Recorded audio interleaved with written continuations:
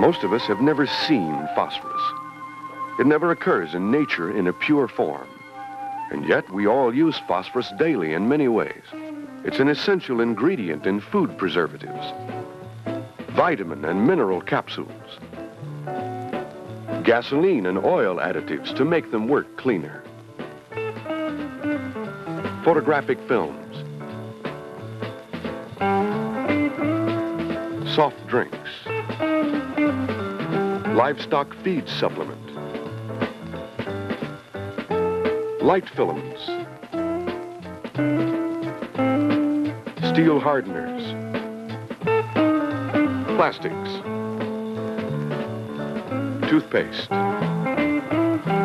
optical glass, and many other good things. But the most essential thing phosphorus helps to give us is food.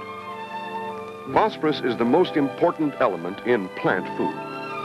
Without phosphorus, plants soon wither and die. With the help of the phosphorus in phosphate fertilizer, American agriculture has become the most productive in the world. We are the best fed, the healthiest of all nations. Sometimes we take our phosphorus for granted because we've had it for so long.